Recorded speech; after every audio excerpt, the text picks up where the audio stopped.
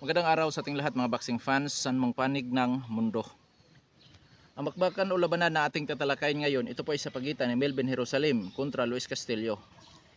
Didipinsan po ni Melvin Jerusalem sa labanan na ito ang kanyang WBC. At ito namang si Luis Castillo as a challenger, rank 1 sa WBC po yan. Ang kanilang fight schedule ay sa September 22, 2024 nagaganapin dito po sa ating bansa dahil dyan lang po yan sa Mandaluyong City College, Mandaluyong City. Sa bakbakan na ito tayo po ay maghahayag ng sarili nating fight prediction, comparison at analysis. Na kung saan, doon pa po lamang sa ating gagawing comparison, detalyado po na inyong malalaman kung saan nga ba naging liyamado, saan nga ba naging dihado itong magkabilang panig. At inaanyayahan ko rin po kayo na panoorin ang buong uh, video at nang sa ganon, makakakuha kayo ng idea at higit sa lahat ay ang makapagdesisyon po kayo sa inyong pipiliin na sa tingin po ninyo ay may malaking tsansa sa panalo dito po sa naturang uh, bakbakan. Maaring ang inyong desisyon ay pabor o taliwas ito sa aking prediksyon o pananaw sa laban, ngunit ang mahalaga ay ang makapag-desisyon po kayo. At nabanggit ko nga rin kanina na magkaroon tayo ng comparison. So marapat lamang na ating ding talakayin ang kanilang uh, mga background mula sa kanilang physical na appearance, eksperyensya o karanasan sa laban, maging sa kanilang mga taglay-taglay na mga skills at mga galawan. Dahil yan po ang ating gagamitin na referensya doon po sa ating gagawing comparison. Para po sa mga boxing fans na bago pa po lamang napadpad dito sa ating munting channel, inaanyahan ko po kayo na sana suportahan po niyo sa pamamagitan po ng pag-subscribe, like, and uh, share. At para po sa mga boxing fans na walang sawa na sumuporta at sumubaybay dito sa ating munting channel, taos puso po ako nagpapasalamat sa inyong lahat. Wala po nung sports PH kung wala rin po kayo mga idol. Kaya naman, hindi na natin ito patagalin pa at simulan na natin. Alamin na natin ang mga background nito sa magkabilang panig at unahin natin ang sa panig ng challenger Luis Castillo ng Mexico. Bilang isang professional boxer may impresibong kartada po ito. 21 wins with uh, 13 wins coming by way of knockout. Walang talo, walang tabla so undefeated. May edad na 27 anyos at ang height 5 foot and 5 and a half inches. Reach 66 inches South po ang stance, knockout ratio 61.19%. Last fight November 23 uh, November 3, 2023, nakasagupan nito si Miguel Angel Herrera. Panalo ba yun ang most decision itong si Luis Castillo? Karanasan o experience yan itong si Luis Castillo mga idol. Mga matitinding nakasagupan nito na mga kilalang boksingero ay ang katulad ni Mario Rodriguez na dating IBF World Champion. Abraham Rodriguez na dating World Title Challenger. At syempre, idagdag na rin natin ang huling laban, Miguel Angel Herrera na kung saan yan po ay uh, mayroong magandang kartada sa kanyang professional boxing career. Sa skills naman ni Luis Castillo sa pangkalahatan, para sa akin, boxer puncher. Pwede siyang maging pressure style, defensive style, lumalaban sa brulan o tututo na bakbakan, may counter punching style isa itong bulyong puncher, taglay ang power, timing, at accuracy. Marunong gumamit sa kanyang height and reach advantage. At uh, pagdating sa depensa, masasabi kong uh, average lang din po ang kanyang depensa. Ibig sabihin, may mga openings din po ito na kung saan uh, magiging delikado pag nasamantala. Oo, pero lamang mga loads, masasabi ko na ano, uh, wala pa tayong nakitang kahinaan ng boksingerong ito. Oo. So ngayon sa panig naman itong ating kababayan na si Melvin Jerusalem. Bilang isang professional boxer, itong si Melvin Jerusalem, may impresibo kartada po. 22 wins with 12 wins coming by way of knockout tatong talo. Ngunit wala pang naitalang tabla. Sa kanyang tatlong pagkatalo, Isang beses lamang ito nakatikim po ng uh, technical knockout or knockout. May edad 30 anyos at ang height 5 foot and 2 inches, reach 62 inches, orthodox ang stance, knockout ratio 54.55%. Huling lumaban o last fight ng boksingerong ito, March 31, 2024, nakasagupa si Yuda Ishiguka. Noong saan sa labanan nila ni Shigoka nagsisilbing challenger itong ating kababayan sa WBC na hawak noon ni Shigoka.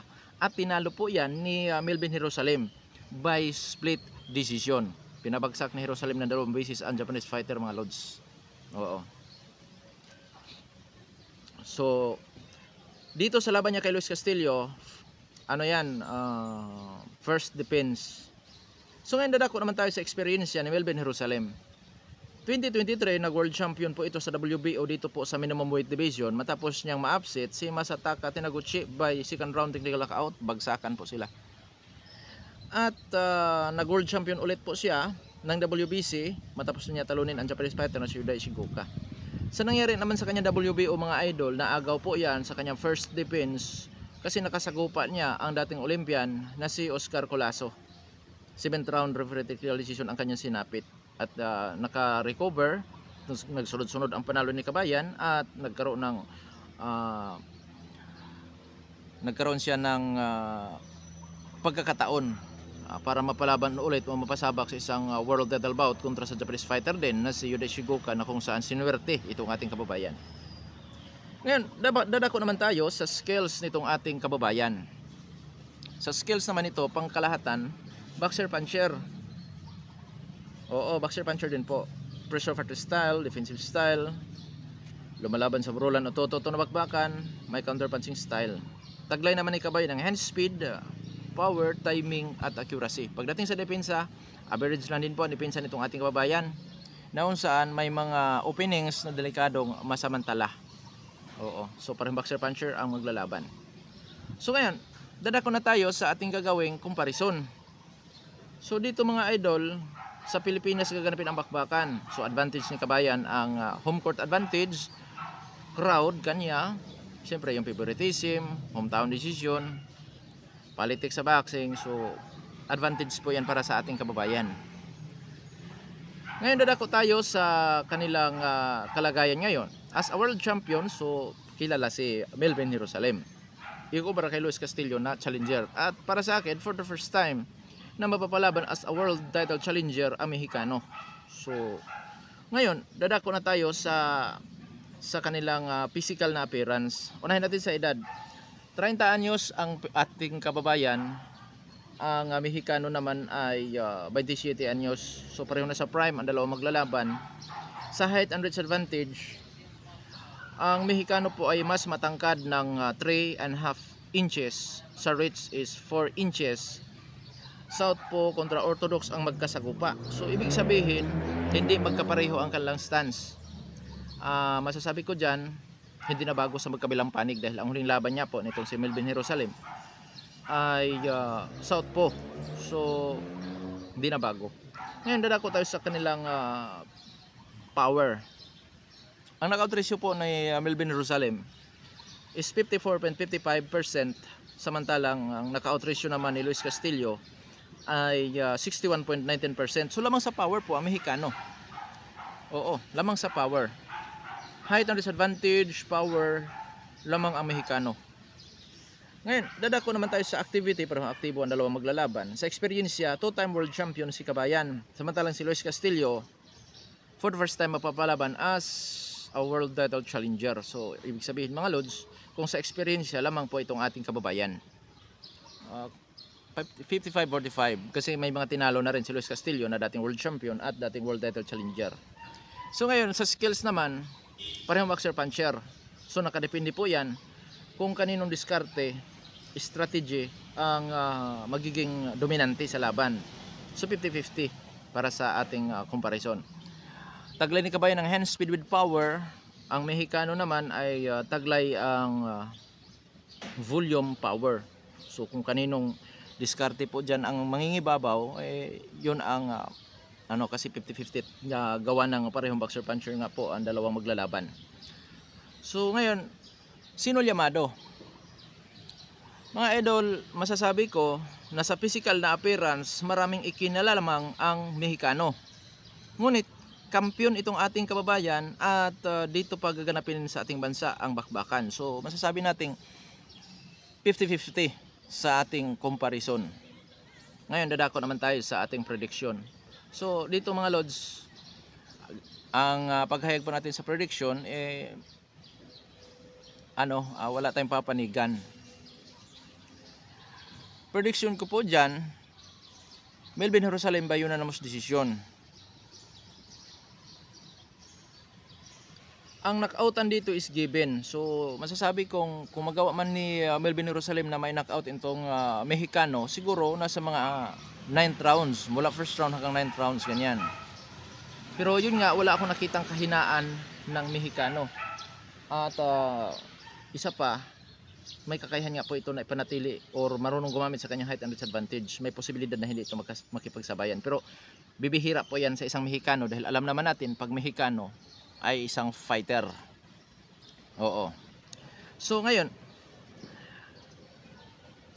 pabor ako sa ating kababayan na siya ang mananalo by puntusan. Sa panig naman ng uh, Mexicano, dahil tapos na tayo sa ating uh, official uh, prediction, sa panig ng Mexicano, gamit ang kanyang height and reach advantage, syempre power, posible niya magawang may knockout itong ating kababayan sa uh, later rounds. Siguro nasa mga 8 to or de 10 to 12 oh, ganyan. Posible niyang magawang may knockout itong ating kababayan. At uh, siyempre nakadepende pa rin po yan sa gagawing strategy ni kabayan na kung saan once na uh, maunahan si kabayan dyan ay posible ding madali siya sa early rounds. Oo pwede siyang ma-knockout dyan. Kasi nga yung height and disadvantage ng Japanese fighter o ng uh, Mexican fighter hindi Japanese ha Mexican fighter ay uh, hindi po yan pwedeng uh, maliitin at uh, hindi po yan pwedeng pagkumpiyansaan.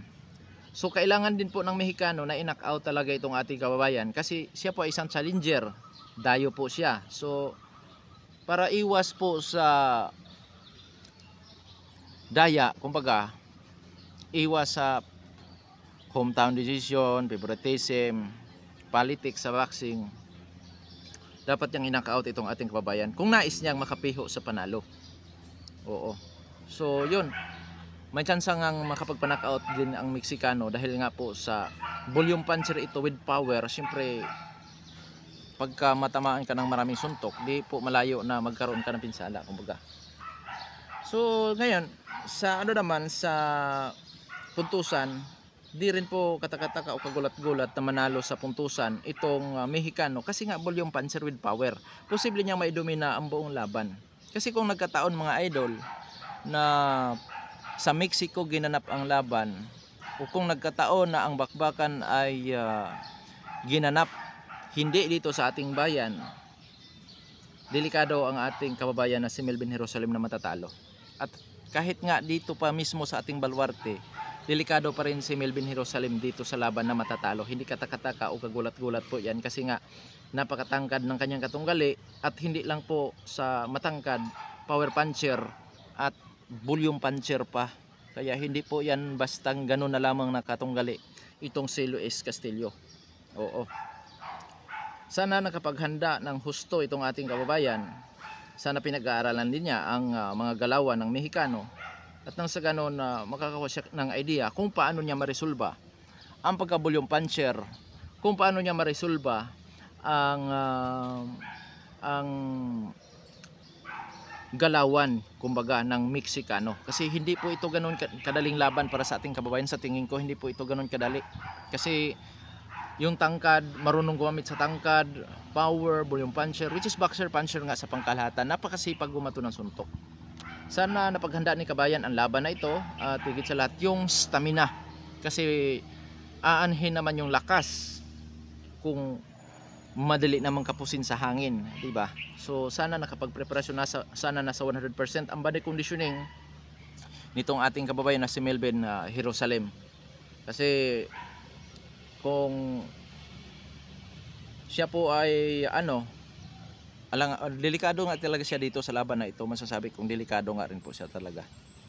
Kaya sana nasa 100% ang body conditioning ito nitong ating kababayan. Sana napaghandaan niya ng husto itong Mexicano. At uh, abangan din natin ang bakbakan na ito. Inulit ko September 22, 2024 magkita-kita po tayo dyan sa Mandaluyong City College Mandaluyong City. At ang ah, sunod na bakbakan na ating tatalakay ngayon mga Lods ay ang nalalapit na laban ni Charlie Suarez kontra rin po sa isang ah, Amerikano o Meksikano. Yung tumalo kay Abraham Nova. Kalimutan kong pangalan noon ah. Yan po ang sunod nating tatalakayin sa ating talakayan. Hanggang dito na lamang ito po ang Sports Speech. Maraming maraming salamat po.